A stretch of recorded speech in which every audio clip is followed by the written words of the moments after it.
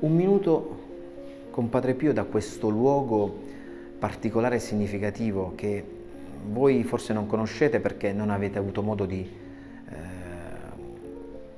entrare in convento. Siamo proprio eh, accanto al refettorio antico. Questo era il fuoco comune, dove qui nei primi anni eh, il, era il luogo dove c'era un braciere, era l'unico luogo più caldo accanto al refettorio, i frati venivano qui attorno al braciere, si riscaldavano e poi andavano a dormire, quindi si raccontavano la loro giornata. Perché qui? Perché qui Padre Pio ha avuto modo anche di incrociare alcune anime del purgatorio eh, e ha avuto modo anche di pregare per loro. Ecco, ma non vogliamo raccontarvi questo episodio, vogliamo raccontarvi un altro episodio che lo riporta padre Francesco Napolitano. È un episodio abbastanza particolare che riguarda un certo Fra Pietro, che è un fratello non chierico che dimorava in questo convento con la fraternità, con Padre Pio. Era il 1945. Fra Pietro eh, c'era l'usanza prima di svegliarsi a mezzanotte per recitare le preghiere. Quindi suonata la campana, tutti in coro a pregare. Ecco, una volta che è tornato in cella, fra Pietro si accorge che nella sua cella c'era un frate inginocchiato davanti al suo letto che pregava.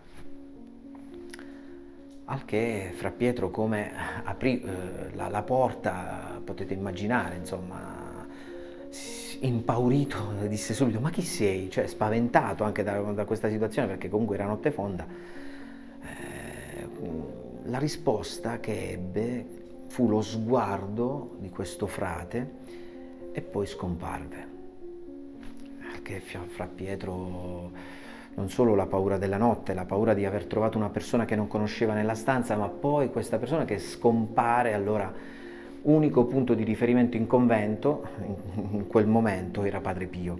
Allora Fra Pietro corre, fa una lunga corsa dalla sua stanza alla cella di Padre Pio che era chiusa, Padre Pio si era appena rimesso a letto, entra, entra impaurito, dice Padre Pio, Padre Pio, nella, nella, mia stanza ho trovato un frate, un frate che pregava, poi a un certo punto questo frate è scomparso.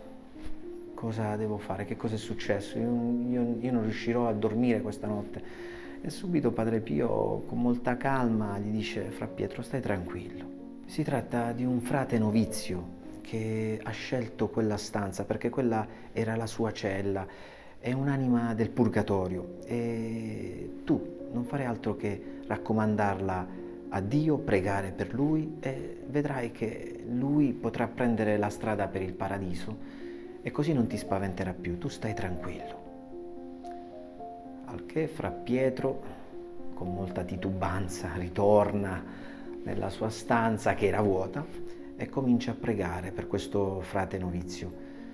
Il problema è stato successivo, quello se lui poi è riuscito a dormire quella notte sul consiglio di Padre Pio.